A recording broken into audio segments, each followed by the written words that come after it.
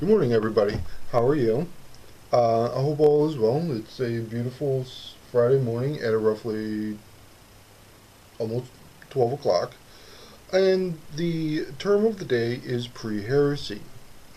Um, yeah, I'm kind of running behind on the um, pre-heresy thing, but I actually find that the pre-heresy in and of itself is something that is actually probably more fun to work with than anything else.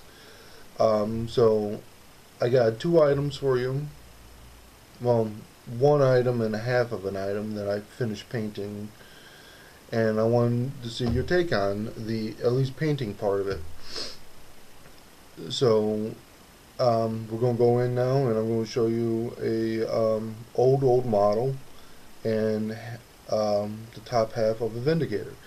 I know I said um, Razorback in my last video, but it's I realized, oh wait, I got a Vindicator in the bag. Let me put that together first. So I go, okay, let's put it together. And then halfway through putting the chassis together, I'm like, wait, I don't have instructions for this.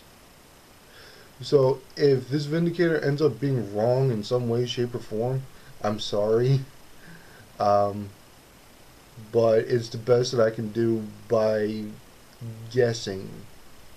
Really, really guessing. Okay, so like I said, we'll go in now and we'll show you. Hey everybody, um, trying something a little different here on my camera. Anyways, um, I have here a pre-heresy Mortarion uh, model by Ronin Miniatures, a company that's been um, out of business for a while, but still you can find some of his um, so some of their product line online, uh, eBay mainly and mostly, or if um, certain collectors and whatnot. Um, I originally got this for a gentleman that um, wanted to do a pre-heresy Death Guard army. Um, over here in the States, uh, but um, he he then decided to um, do something else. So um, I I'm I have a Primarch uh, Mortarion and then I really don't know what to do with. So if anyone is interested, um, PM me, let me know, and we'll try to work something out. Okay. Um, here's um, his scythe with his arm. You would think that the scythe would go this way, and that way it goes attack attack. Well, no, the scythe is this way because that's the way the arm is designed. I don't know, I don't get it myself, but that's the way it was designed. Really, really thin. Um, I actually have to give the backpack, the back piece, a little bit of props. It actually looks really nice for the most part. Let's see if I can. There we go. I mean, it, just the details in and of itself, and the, the top and the power cell. Yeah, it looks really nice.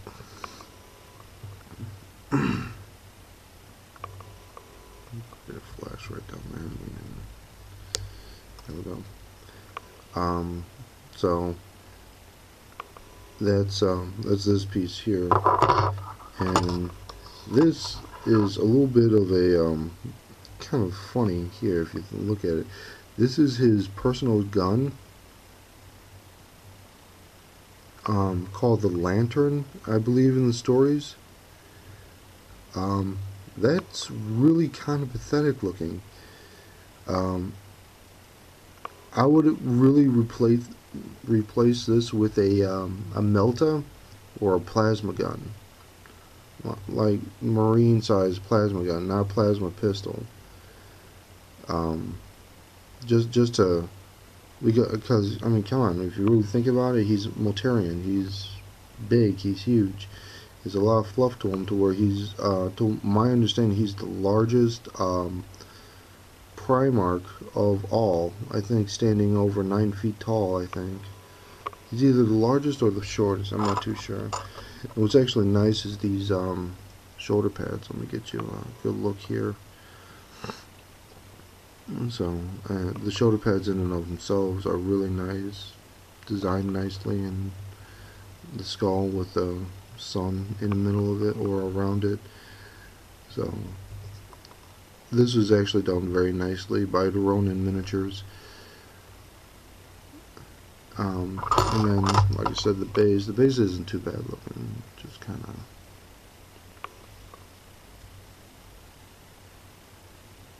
That's the base, 40 mil. Um, Kabuki Models is also coming out with a, another version of this guy. And um, I'm actually wondering how that one's going to come out. Okay. So yeah, um, I'm curious on how the Forge World models are going to come out. So putting this aside, I have top half of my pre-heresy Vindicator for my Space Wolves. So really, this is kind of just an update, work in progress. Um, tell me what you guys think. Really, please. I, I would I would love to hear feedback. Um, I'm not the greatest painter in the world, but I mean, I, I really appreciate people who can give me some kind of feedback. Um, I saw that online. Keep in mind, I did this pretty much by pure guessing because I'm, I'm, putting it together. I go, uh, where, wait, where's my instructions? And then realizing that I didn't have instructions, I'm like, oh, bugger. So I had to use the image offline from um, Games Workshop, and I mean, did the red lenses there with um, kind of like white slashes. That that um, that personally, I think right here, the sensor array, I think is kind of cool personally. Then you get the big, uh, big, big, big. Um, but yeah, I, I did uh, my own um, coloration for um, the outside armor. I gotta paint this again. God, stuff chips real easily. So basically, I mean, there was a piece that I guess was supposed to go back here. Um, but I had no idea how it fit there. I just, it's like, it, it's there and it's like, uh, wait, how does that fit? So that's the top part of this. And the bottom part, which I started painting, um, I'm going to paint the inside here, this inside panel here. See if I can zoom in close enough. Yeah, the inside panel here, and then everything else with um, the outer walls. And the thing is, I look at this now and I go, why am I painting the inside panel? No one's going to see it. And then I realize that maybe people will see it because I'm not gluing this door. Which probably I should, but at the same time I'm like, mm, no. So, um, like I said, give me some feedback, please. I, I would really appreciate it. Uh, that way I have an idea on how well I'm doing. So, that's, um, this is pretty much part one of my Vindicator uh, and part one of my pre-Heresy Space Wolf Army. So, like I said, if anyone's interested in um, the old school Mortarion, let me know. We'll work something out. Um, otherwise, um, uh, um, God, really, I don't know. I mean, I have a grand total of eight Death Guard models, Typhus, and seven Forge World Plague Marines. I really can't use him. I really don't use the others either. They were just there kind of for um, show anyways everybody have a wonderful day and um, I'm out. Mordecai is signing off and going into his cave